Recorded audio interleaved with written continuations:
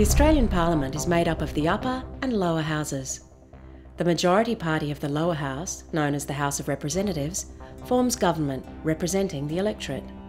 The upper house, known as the Senate, represents the states.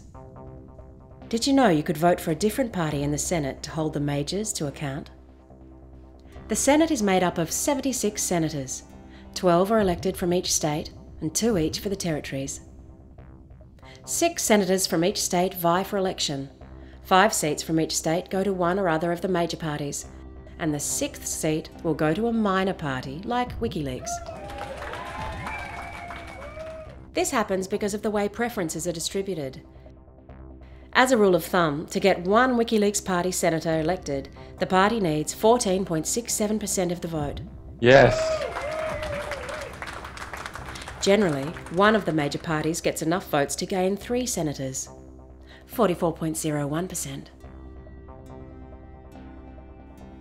The other major party, two senators, 29.34%.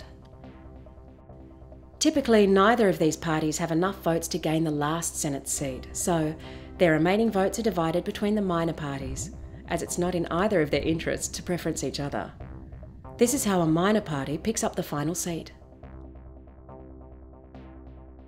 This will not necessarily get the WikiLeaks party over the line.